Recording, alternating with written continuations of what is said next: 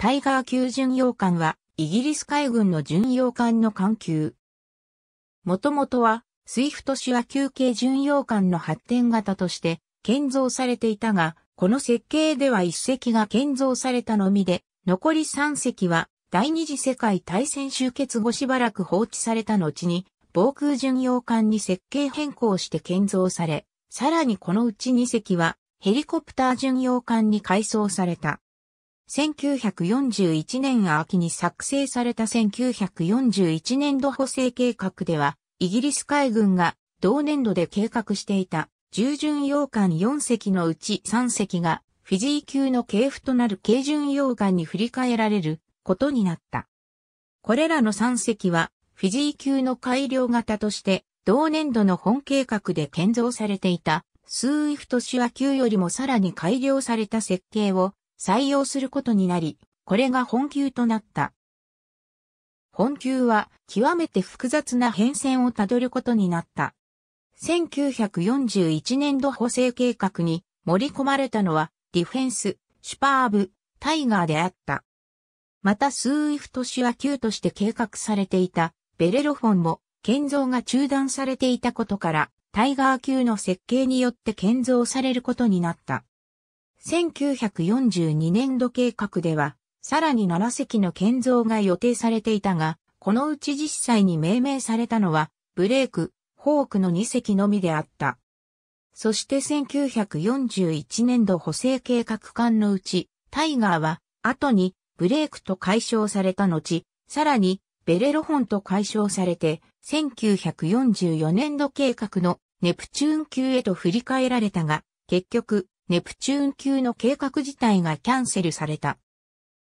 一方、この解消に伴って環球名を維持するため、もともとベレロフォンとして建造されていた艦がタイガーと解消されてネームシップを引き継いだ。大戦の終結とともに設計の改定が検討されるようになった。すでに工程が進んでいたシュパーブはそのまま建造されたが、それ以外の4隻については様々な計画が訴状に載せられた。しかしいずれも実現せず、1945年10月にホークの建造はキャンセルされ、残り3隻も造船所の要員を空母、イーグル、戦闘に配分するため、1946年7月より建造作業は棚上げ状態となった。基本設計はスーイフトシュア級をベースにしているが、船体幅はやや広げられた。選手楼型で3、4インチの水線部装甲を持ち、砲塔とその下部を4インチ以下の装甲で囲むという設計は戦艦機のイギリス巡洋艦に共通したものであった。機関はフィジー級以降の構成が踏襲された。ボイラーはアドミラルティ式賛同艦4機で蒸気正常は圧力 400lbf インに温度下視250度とされた。蒸気タービンはパーソンズ式ギアードタービン4機で72,500軸馬力を発揮した。ただし制御装置や計測、監視、操縦装置などの周辺機器は新型化、高性能化されている。手法としては50口径 15.2cm 砲3、連装の RP10 マーク24砲塔に搭載する計画であり、シュパーブはこの仕様で建造された。同砲はリアンダー級で採用されて以降、イギリス系巡洋艦の手法として連盟と搭載されてきた砲であり、同艦が最後の搭載艦となった。射撃式装置としては、盲目射撃に対応して275型レーダーを備えたマーク6波砲位板が搭載され、外見上の特徴となった。対空兵器としては、45口径 10.2cm、広角砲10門と39口径 40mm、広角機銃18門を搭載する計画であり、シュパーブはこの仕様で建造された。またこれに加えて、70口径 20mm 機銃10門も備えていた。その後、1955年の時点では、ポンポン砲4連装4機は維持されていたほか、56口径 40mm 単装機銃10機が搭載されていた。タイガーの監守側からの艦営、タイガーの艦尾側からの艦営1947年9月、法術部長は棚上げ状態になっている3隻のタイガー級巡洋艦の有用性はまだ残っていると指摘して活用法が検討されるようになった。当時、次世代の対空兵器としてシースラグ艦対空ミサイルの開発が進められていたが、順調に進んだとしても、装備化は1958年になると考えられていた。これに対し、本級は他の艦よりも改良された船体、機関を備えていたことから、来たるべきシースラグ搭載艦の防空力を100点とすると、他の対戦世代巡洋艦が20点であるのに対し、本級は40点に相当すると試算された。また新しいハーミーズ級航空母艦は2機目のカタパルトを設置する代償として中高警報を全廃していたことから1948年3月には、これを援護するための防空艦が必要であると主張されるようになった。このことから、これらの3隻は設計を変更し、新世代の対空砲を搭載した防空艦として建造されることになった。ちょうど朝鮮戦争と時期が重複し、また財政的な問題もあって、作業は計画より遅延し、1959年3月から1961年3月にかけて順次に竣工した。上記の通り、本級はシースラグ搭載艦の収益までの前進策としての性格があったが、実際にはシースラグ搭載のカウンティ級駆逐艦の収益開始よりも20ヶ月先行できただけであった。手法としては、新型の療養法であるマーク26が搭載された。これは50口径 152mm 砲をマーク XB 連装砲塔と組み合わせたもので、口径、方針長とも従来と同様だが、6インチ砲としては、久しぶりの鞘砲となった。水冷式の自動砲で、発射速度は毎分20発と倍増した。また砲塔には遠隔気力操縦が導入された。対空兵器としては新設計の70口径 76mm 連装砲を採用した。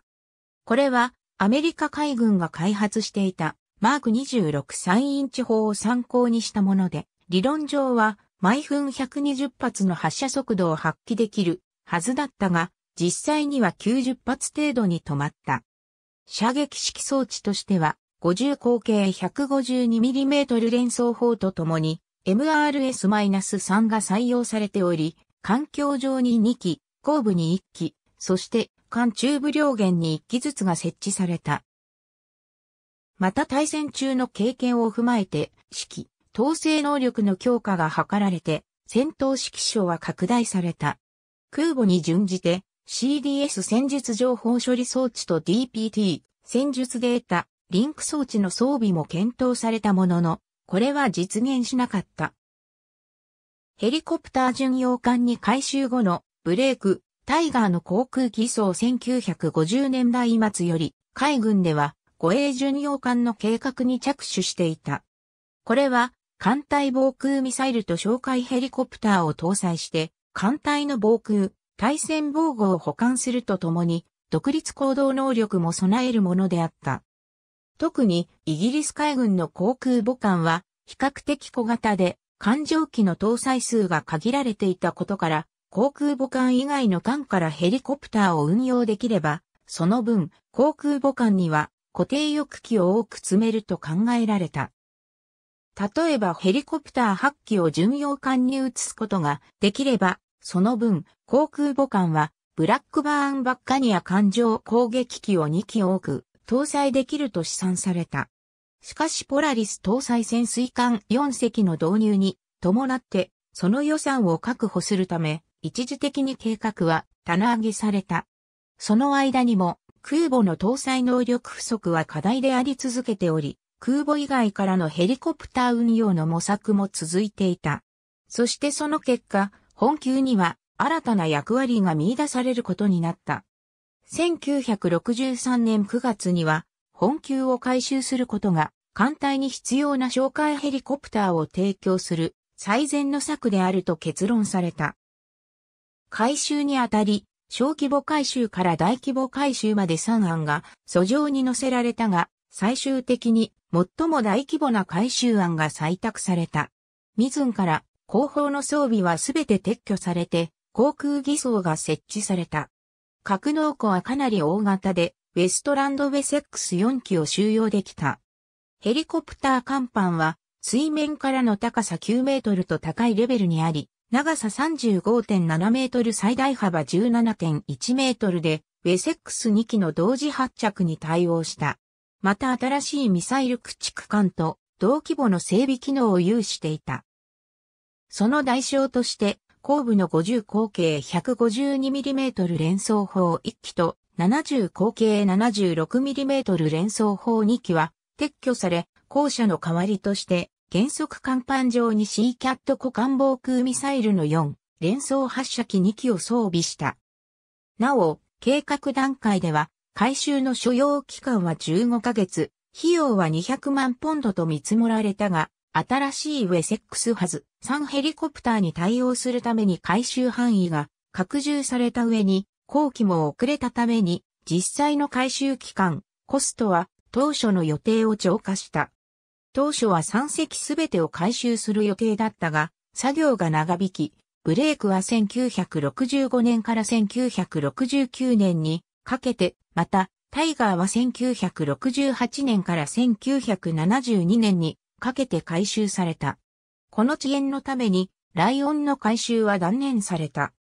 回収を受けた2隻は共に、この新しい任務に適合していると証明したものの、海軍全体の人員不足の中で、旧式で所要人員が多いことが問題になり、1978年にタイガーが、翌1979年にブレークが予備役入りした。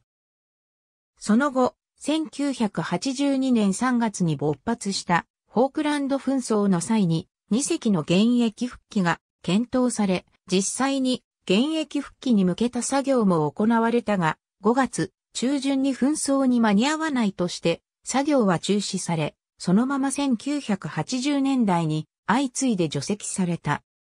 なお、本級の計画の源流となった護衛巡洋艦計画は上記のように棚上げされたが、1960年代末からは、その流れを組んだ式巡洋艦の計画がスタートしており、最終的にシーハリアー艦上戦闘機の運用に対応したインビンシブル級航空母艦として結実して、1980年より収益を開始した。ウィキメディアコモンズには、タイガー級巡洋艦に関するカテゴリーがあります。ありがとうございます。